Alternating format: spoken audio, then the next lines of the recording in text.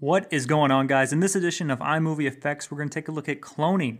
So, say you have one MacBook and you'd like to have two, it's easy to do with a little bit of movie magic here in iMovie.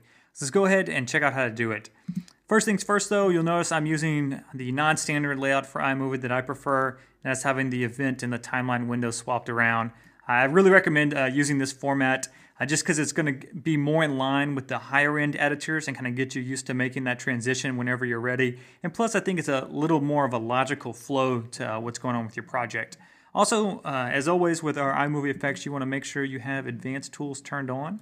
So go ahead and just make sure that bad boy is checked right there. And now we are ready to go. So looking at our original footage, you see I basically just shot the MacBook on both sides of the desk. It's pretty easy to do. So whether you're cloning a person, an object, or anything, same kind of principle. Just make sure that the shot is the exact same. So you need to shoot with a tripod, make sure the white balance, shadows, all those kind of things don't change between the shots. So we'll go ahead and kind of just drop in our first footage right here.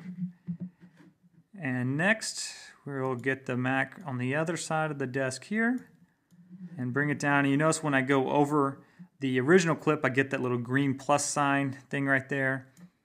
That is key because what we want to do is select green screen from our uh, tools menu here. And now, when we play through the footage, you notice that the bottom layer is actually completely overlapped.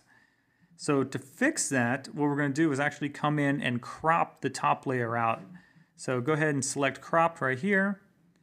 Now, as we come this way, you can see it's revealing that layer underneath, so it's showing the MacBook on the other side of the desk. Now you can mess around with this to like tweak it and get it, you know, exactly perfect and take certain things out the scene.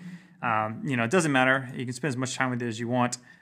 And you can see now we have both MacBooks there simultaneously. Now, there are some limitations using this method, just like all the iMovie effects we've looked at. Um, since you're using a green screen, if you try to clone a green item, you're going to run into some trouble. Something like this. You see where I can see through that second typewriter, and that's, of course, not something you want. So it requires a little bit of pre-planning uh, on your part when you're actually doing the shooting. But it, with a little bit of time, a little bit of planning, and a little bit of work, it actually is a pretty passable effect and is definitely simple and easy to do here in iMovie. Uh, so there you guys go. Uh, hopefully this is useful to some of you guys out there. Uh, as always, if you use this effect, send me the video. I'd love to see it. I hope you guys uh, enjoyed watching, and I'll see you next time.